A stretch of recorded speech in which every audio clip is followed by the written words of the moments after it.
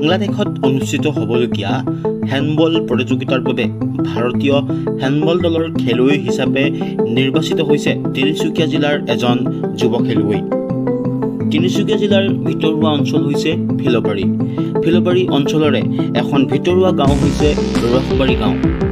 কঠোৰ পৰিশ্ৰম একাগ্ৰতাৰ বলত লীলাম্বৰ মৰাণে বাংলাদেশত অনুষ্ঠিত হ'বলগীয়া হেণ্ডবল প্ৰতিযোগিতাৰ ভাৰতীয় হেণ্ডবল দলৰ হৈ খেলিবলৈ স্থান লাভ কৰিছে।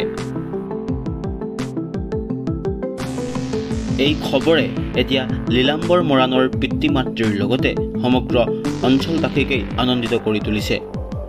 ফিলবাৰী অঞ্চলৰ ৰসবাৰী গাঁৱৰ কৃষক পিতৃ ভদ্ৰেশ্বৰ মৰাণ আৰু মাতৃ মমী মৰাণৰ পুত্ৰ লীলাম্বৰে অহা সাতাইছ জুনৰ পৰা বাংলাদেশৰ ৰাজধানী ঢাকাত অনুষ্ঠিত হ'বলগীয়া হেণ্ডবল প্ৰতিযোগিতাত ভাৰতীয় হেণ্ডবল দলৰ হৈ অংশগ্ৰহণ কৰিব। মই কালি গম পাইছোঁ। কালি পিছবেলা মোৰ ওচৰলৈ মেছেজ আহিছে। মই ইণ্ডো বাংলাদেশ কাৰণে চিলেকশ্যন হৈছোঁ বুলি। এতিয়া মোৰ গেম সাতাইছ তাৰিখৰ পৰা আছে এক তাৰিখলৈকে।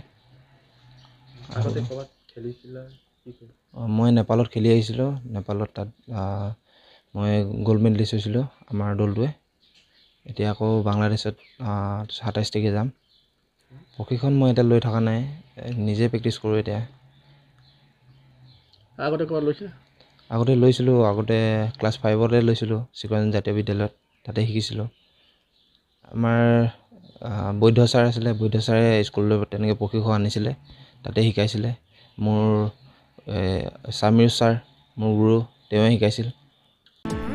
পঞ্চম শ্ৰেণীৰ পৰাই হেণ্ডবল খেলত মনোনিৱেশ কৰা লীলাম্বৰে ইতিমধ্যে নেপালত অনুষ্ঠিত হোৱা হেণ্ডবল প্ৰতিযোগিতাত ভাৰতীয় দলৰ হৈ অংশগ্ৰহণ কৰি সোণৰ পদক লাভ কৰিছে। অহা পঁচিছ তাৰিখে ভাৰতীয় দলৰ হৈ খেলিবলৈ গুৱাহাটীৰ পৰা বাংলাদেশলৈ ৰাওনা হ'ব তিনিচুকীয়াৰ লীলাম্বৰ মৰাণ। ভাল লাগিছে আজি আপোনালোকে আমাৰ ইয়াত অহাৰ কাৰণে।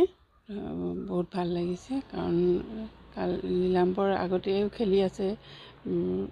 এই নেপালত খেলিছিলে গৈ। নেপালতে চিলেকশ্যন হৈ এতিয়া বাংলাদেশত খেলিবগৈ।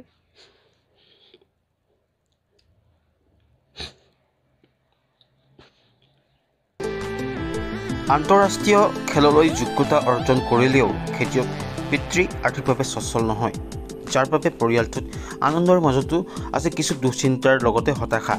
যদিহে স্থানীয় বিধায়ক সুৰেণ ফুকন তথা সচেতন ব্যক্তিৰ লগতে দল সংগঠন ক্ৰীড়াপ্ৰেমীৰ ৰাইজে সহায় সহযোগিতা কৰে তেন্তে নিশ্চিতভাৱে লীলাম্বৰ মৰাণ এদিন আন্তঃৰাষ্ট্ৰীয় পৰ্যায়ত জিলিকি উঠিব। ডিব্ৰুগড়ৰ পৰা ৰক্তিম দাসৰ প্ৰতিবেদন লোকেল এইটিন